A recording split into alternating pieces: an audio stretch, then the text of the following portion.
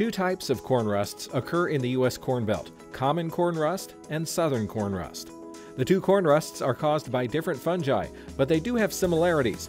Both diseases survive as parasites on living tissue. That means the diseases don't overwinter in Midwest states. However, early and proper identification is crucial, and growers should know that corn hybrids may react differently to rusts and other diseases. Rust diseases in general can have an impact on yield, but the magnitude of that impact is going to be related to how much leaf area, for instance, is affected by those diseases, and, and we call that disease severity. The more and larger lesions and pustules that we have of any disease is going to have a greater impact on yield because it competes with grain fill. Another potential scenario that we can have is secondary impacts on corn health, and so one of those might be standability.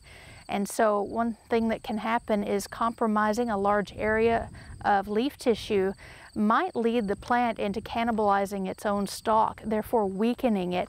And weakening these stalks can have an impact on standability later in the season. And when those stalks are weakened, for example, what will often happen is we'll have stalk lodging or stalk rot diseases happen later on in the season that can cause a lot of headaches for our farmers later on and potentially slow down harvest the symptoms may not always look the same from hybrid to hybrid. And so in particular, some that are more susceptible may produce larger pustules that have more spores in them, or it may or may not produce a yellow halo around the lesions produced by either of these rusts. And so that can cause them to vary somewhat, and it can make it more complicated for people to differentiate between those diseases and others. The primary features of common rust are the presence of those dark red to cinnamon brown spores that are produced on either the top or the bottom side of the leaf.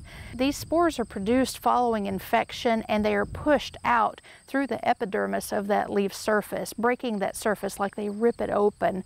And those spores will actually rub off on your hand.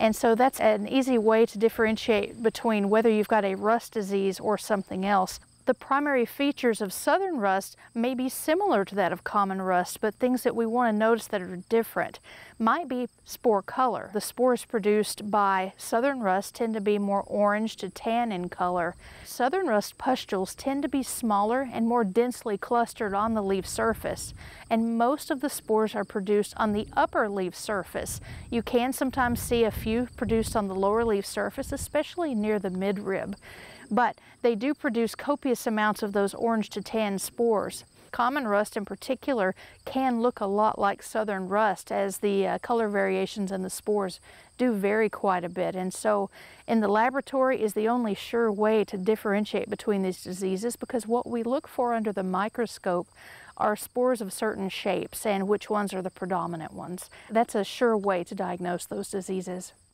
For growers, it's good practice to scout the crop throughout the season to monitor for rust that may have developed early. Since rust fungi don't overwinter, they have to blow in from southern states and progress north as temperatures and humidity rise. Common rust favors temperatures in the upper 60s through the 70s, which is why it is usually seen earlier in the season. Southern rust prefers warmer temperatures in the 80s, posing a problem later in the growing season. Protecting corn against rust in the grain fill stages is most important in preventing yield loss. Generally, yield impact relates to how much leaf area is affected by the disease. A secondary effect could be a weakening of the corn stalk that may lead to standability issues and stalk rot, also headaches for growers, who should know that one type of rust usually has more of an overall negative impact on corn. Common rust is much more common than southern rust, and we routinely see common rust earlier in the season and generally overlook it because we're not as concerned about it. However, southern rust is a more important disease to us because the fungus that causes that disease is more aggressive and we have less resistance to southern rust in most of our commercially available dent corn hybrids.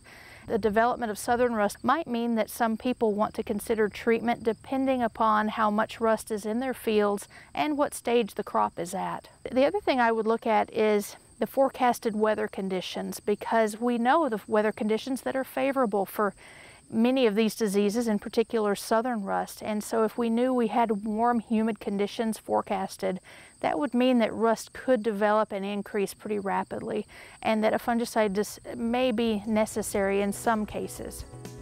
Delaro fungicide from Bayer is formulated with two heavy hitting modes of action to maximize control of even the toughest diseases, including rusts.